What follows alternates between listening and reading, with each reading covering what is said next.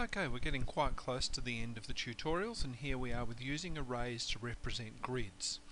Now, arrays are actually a really good way to represent grids because you can run loops to build the rows and the columns. So you, rather than saying build column, you know, column 1, row 1, column, sorry, row 1, column 2, row 1, column 3, what you can do is build it into a loop. So what they're doing here is creating a variable or sorry, a loop which is going to run eight times for rows and then within that there's going to be one that runs eight times for columns and it tells us that the side of each of those boxes is 40.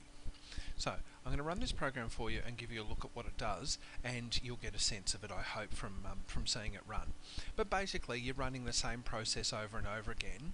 So the actual building of the thing is graphics window sets the brush color to a random color. So this here is the actual building of it. Um, it's the boxes have the values from counting through the loops, so they're the array values. Shape, adding a rectangle size by size, which is being set from up here.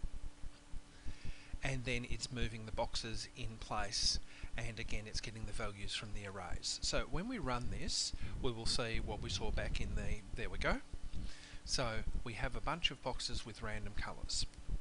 So what I can do, if I want to make it bigger, I don't have to go adding in all these extra complicated instructions. I'll just make the loop run more times. So I'm going to make it 10 by 10 and I'm going to run it again. And there we go, there is my 10 by 10 box.